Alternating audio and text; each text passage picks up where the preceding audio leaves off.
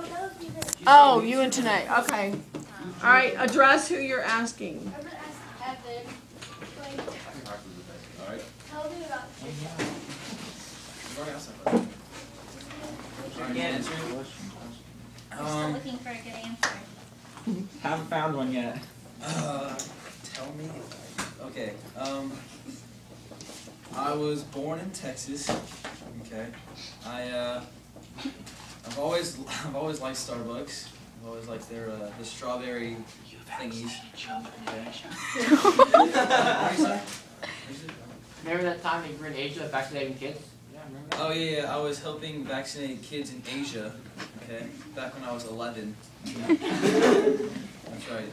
Did you vaccinate Um, You should be a doctor then. Yes, I should. I'm Oh, you working know? I back- chose I'm working through because I love medical it so school. much. All right. Um, I'm already in the NBA. Okay. I've uh, been there, done that. Uh,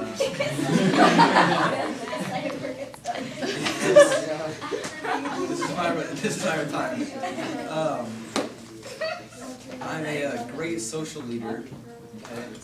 I uh, You have horrible social skills. no, I have Captain of the lacrosse team. um, yes, I was on the lacrosse team also. Here at uh, Hays High School. You're not even looking at me. What? So, Sorry. My interview is not even okay.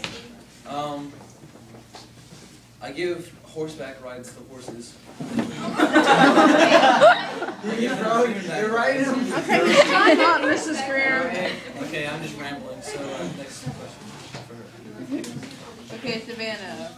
Um, You know there's some on both tell me sides. about a time you were a leader. Well, Yeah, back in home, back in home. When you were a ninja. Back in the home. Um, I'm always a leader. I'm, I, I'm, I tend to get too much leadery. I get, tend to get too bossy. I like to get stuff done. Oh, and I was a terrorist. That's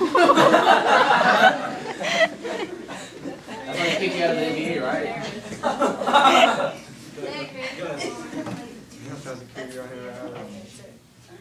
This is my bond.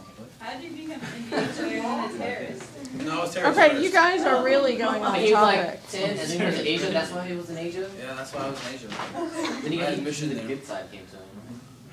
Did you have at least a couple of demonstrations he- who answered seriously? Yes.